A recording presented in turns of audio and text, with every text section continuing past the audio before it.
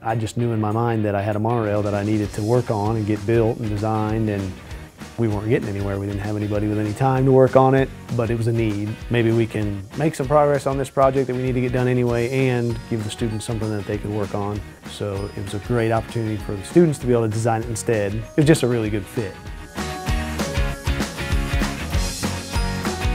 It's a pretty detailed engineering curriculum for high school students. Teachers like Jan go and get that training and then bring it back and implement the program at the schools they're at.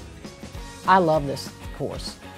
I can't wait to get to work in the morning and work with these students because I get to see them grow and develop and become inspired and get excited about what they're doing. Georgia Pacific brought publicity, they brought financial backing and support, but the main thing they brought was Bill Kane. We want to be able to continue to run our business and we need qualified and capable people. Getting involved can help to develop the capabilities of the, of the children that are in the community so they can eventually be qualified to assume those roles when they come out of school.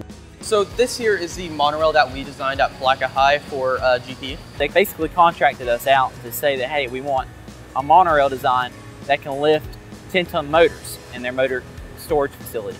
A flatbed truck pulls in underneath the monorail and the hoist comes down, picks up the motor, moves it back over this way and brings it down.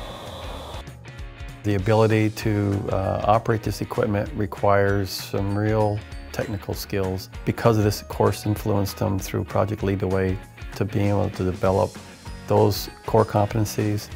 It'll go a long ways for them and for this company.